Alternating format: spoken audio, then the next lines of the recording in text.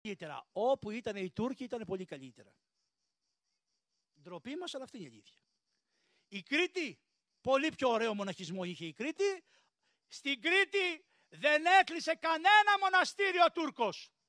Ενώ στην Ελλάδα με διάταγμα του Όθωνα κλείσανε άπειρα μοναστηράκια και κλείσανε εκκλησιές και πήραν τα λείψανα των Αγίων και τα πετάγανε από μέσα από τις λειψανοθήκες και κρατάγανε τα ασήμια για να τα κάνουν μισθό για το κράτος. Την ίδια ώρα οι άνθρωποι που ήσαν υπό τους Τούρκους κάνανε τις διαδικασίες τους. Γι' αυτό, κυρία Αρβελέρ, έλεγαν οι άνθρωποι χίλιες φορές να δω του Τούρκου το, το σαρίκι μέσα στην πόλη, παρά να δω τη διά... Αν, καλύτερα να μην δω κανέναν.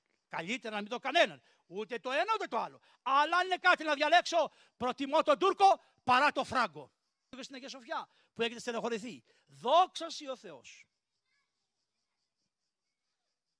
Δεν μου λέτε; Ξέρετε πόσες γυμνές και γυμνοί το 24ωρο μπαίνανε μέσα στην Αγία Σοφιά; Άπειροι. Με το κολοβράκι να μπαίνει μέσα στο σημείο.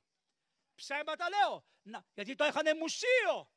Και μπαίνανε όλοι άχρηστοι μέσα βρωμεροί και τρισάθλοι, όλοι οι τουρίστες από όλα τα μέρη του κόσμου, χωρίς να σέβονται τίποτα. Τίποτα δεν σεβόντουσαν.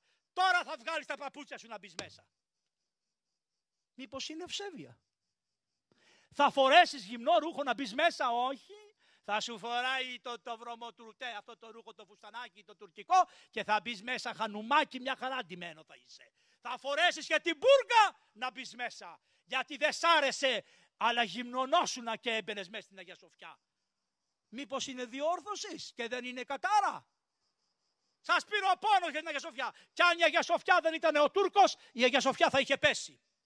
Ποιος θα τη συντηρούσε, Ποιος, το γένος; Μπορούσε το γένος να συντηρήσει τόσο μεγάλο κτίριο, ο Τούρκος το συντήρησε.